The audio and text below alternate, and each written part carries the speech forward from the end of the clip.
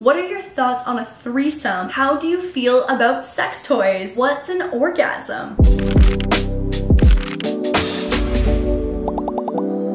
Hey guys, what's up? It's Lauren. Welcome back to my channel. I just want to acknowledge that for some reason, and I, I can't I can't put my finger on what it is, but I look so dinky or like the background looks dinky. I can't figure out what it is, but some kind of perspective illusion is happening and I, I, I, I don't I don't know what's happening. So bear with me.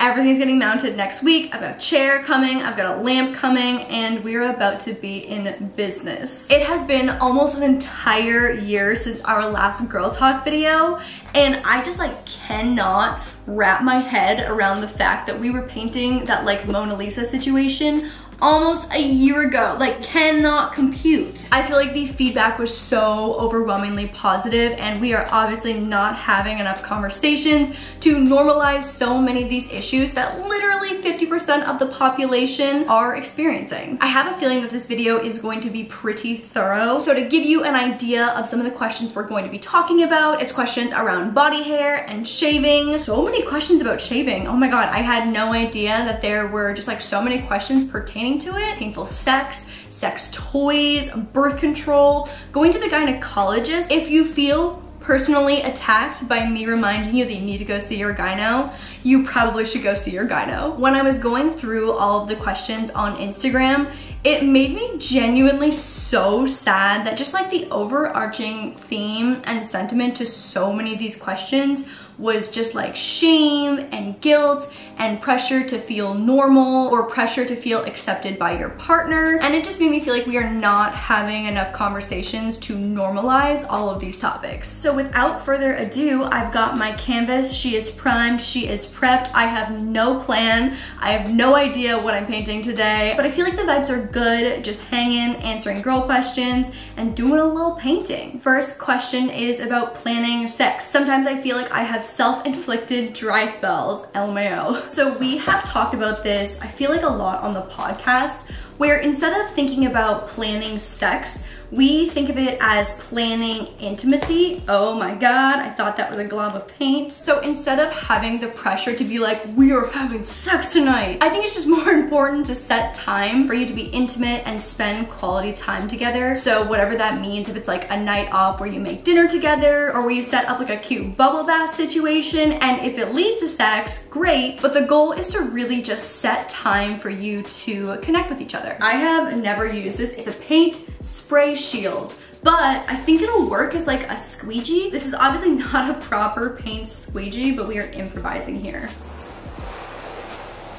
Oh, oh my God, bitch, go off.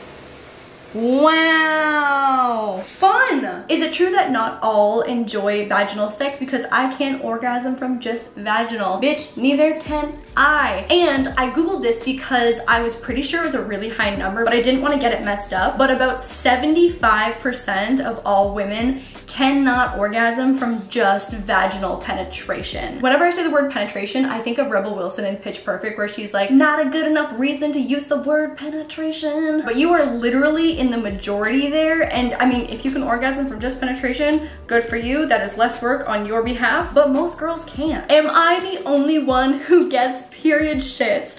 Like the need to poop all the time when on your period. Another one, bitch, same. Period poops are very real and we need to normalize the fact that period poops are a thing. And I think it's just because there's a lot going on in there and it's just something that I have come to expect when I'm on my period. I have a new technique that I wanna try and it's using a cling wrap and I'm a little nervous. We are venturing into uncharted territory currently um, but I think it's gonna be good. Is it normal to have uneven breasts at around age 15 to 16? I feel like my answers have literally been the same for the first three questions. Bitch, same.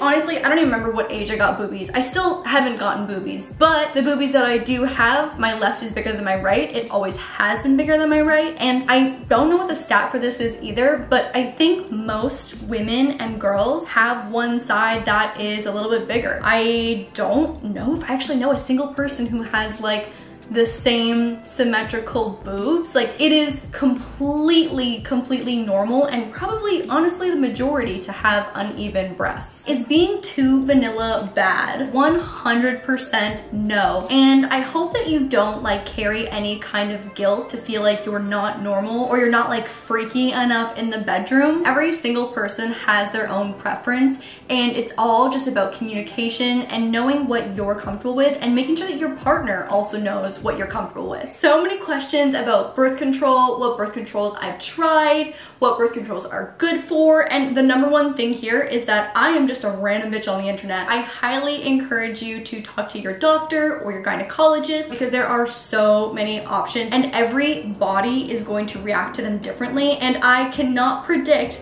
the future of you and your birth control. But what I can speak to is that birth control can be used for so many different things. Again, talk to your doctor, but I have so many friends and myself that have used birth control for one, birth control, but also um, period cramps, hormonal imbalances, acne, migraines. So I started on the pill when I was maybe 15 or 16 and starting to become sexually active. And not only did it help clear up my skin when I had like hormonal teenage acne, um, but the pill was fine for me. I didn't have any crazy side effects. I definitely had friends who had a ton of weight gain. I was on the pill for maybe a year or so before switching over to the NuvaRing, which a friend of mine had recommended and she loved it. And I wanna tell you right now, this is uh, not the best way to get your birth control recommendations. I love when birth controls really work out for your friends, but that does not mean that they will work out for you. The NuvaRing though, luckily was great. Loved it, everything was great, acne great, weight gain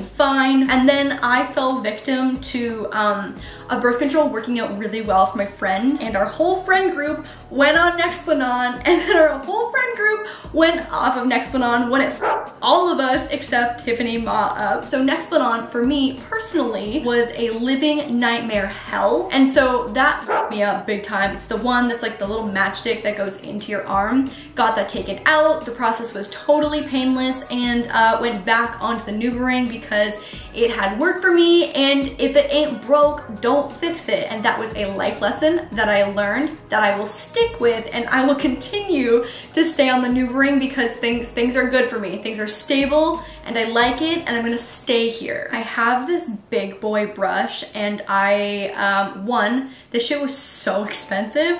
Oh my God. And I'm just scared to use it because it was so expensive we just do it, right? Like we just do it. Things are looking good. Nothing's gone like crazy awry. And I think, I think we just do it. I think we just do it. I just dropped the cap straight into wet paint. Okay, here we go about the pap smear. Guys, I promise, I promise, it is not that bad. And for the sake of your health, please, please, please, if you are putting off going to the gynecologist, please, this is your sign. If you feel personally attacked, if you feel personally victimized, this is your sign book your pap smear. And to be fair, I put mine off for maybe like a solid six months. I was like, oh, it's the pandemic. Like I don't wanna go to the doctor's office. I feel safer at home. That was a bold faced lie and I'm admitting to that guilt.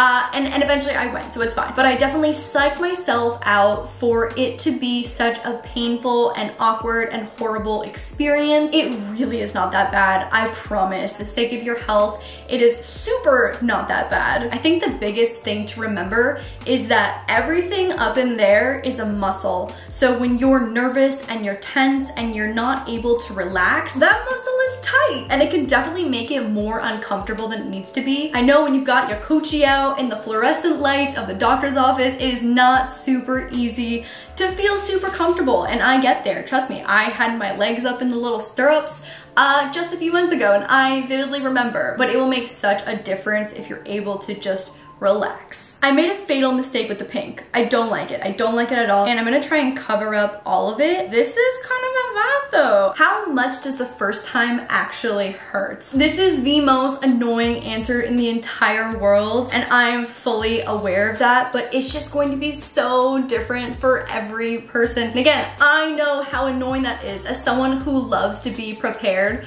for every moment of their entire life, that is so unbelievably not helpful to prepare. But again, that's the reality of it is that it's going to be different for every single person and everyone's experience is going to be different. I wholeheartedly believe and encourage you to be with someone that you trust and someone that you're able to have very clear and open communication. I think that will definitely lead you to have a more positive experience and pain wise, it's gonna be different for everyone. I've had friends where it feels like nothing and completely zero to 10 on the pain scale. I've had friends say that it was pretty painful. I would say that I personally probably fall somewhere in the middle of that, around a 5.5 out of 10. And I was with my boyfriend at the time. It was super chill and relaxed and just like comfortable and we talked through it. And we honestly tried a few times. The first time it didn't happen. Second time it like half happened.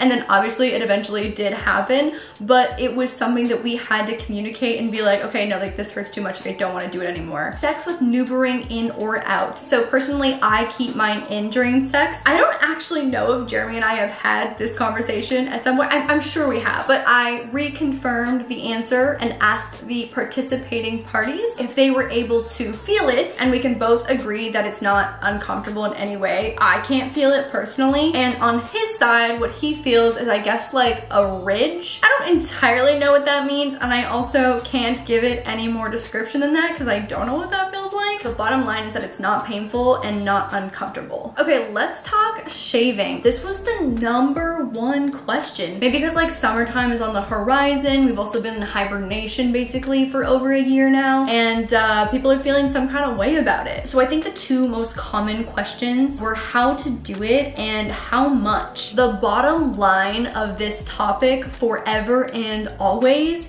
is that it is up to you. It is your body and it is your decision. It is your hair and it's up to you. If your partner ever makes a comment that shames you for your decision, bitch, good bye. Goodbye, goodbye, goodbye. See you never. That is some bullshit that we are not here for. I think because this is something that people are self-conscious about, they forget how to rationalize this almost. Like, imagine your partner was like, hey, I'm only gonna date you and I only wanna be with you if you have a tiger striped mohawk. Not to shame or guilt anyone that with a tiger striped mohawk, that's not the point. But if that's not something that you want for yourself or you're comfortable with, you would be like, bitch, I'm not gonna cut my hair into a tiger striped mohawk. Like there's just no world where you would ever think that, that would be okay. And it's the same thing for your partner trying to tell you what is and is not okay for your own body hair. It is absolutely and always will be your decision. And as for how to shave down there,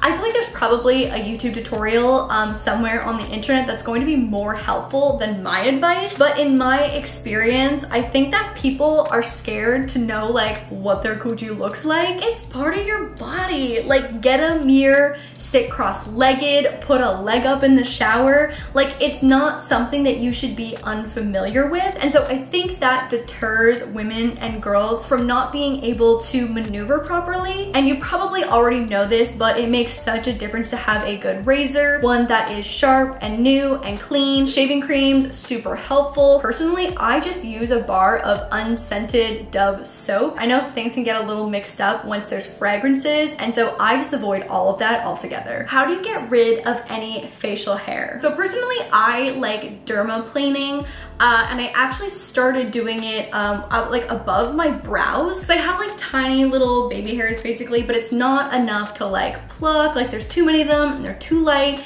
So I learned how to dermaplane um, just above my brows and I found that like anywhere else on your face works really, really well as well in my own personal experience. I don't have a ton of experience outside of just like shaving and dermaplaning. I would love though to hear from you if you've done laser anywhere on your body. That's something that I am definitely interested in trying in the future. But again, this is similar to like all hair questions. It is totally up to you if you wanna get rid of it, great. If not, great. It is totally a personal preference and you have so many options. Threading, shaving, dermaplaning, sugaring, waxing, lasering, bleaching. Like there are just so many options. So I encourage you to do your research if you are looking to remove it or alter it in any way. Also, I wanna pause super quick uh, to do some myth busting. I Googled this not too long ago when I started dermaplaning and bitch, I'm 27. Like I just learned this this year. And so I feel like this is a well-known myth that shaving causes hair to grow back thicker. You've heard it, I'm sure, a thousand times. I'm sure someone has warned you that that will absolutely happen. And guess the